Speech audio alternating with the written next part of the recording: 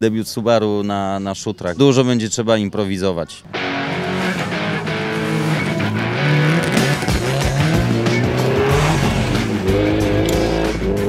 Jest charakterystyczny tutaj y, ten shooter, ta nawierzchnia i trzeba też po niej y, przyzwyczaić się do niej i, jakiś złapać taki fajny sposób na przejeżdżanie tych zakrętów.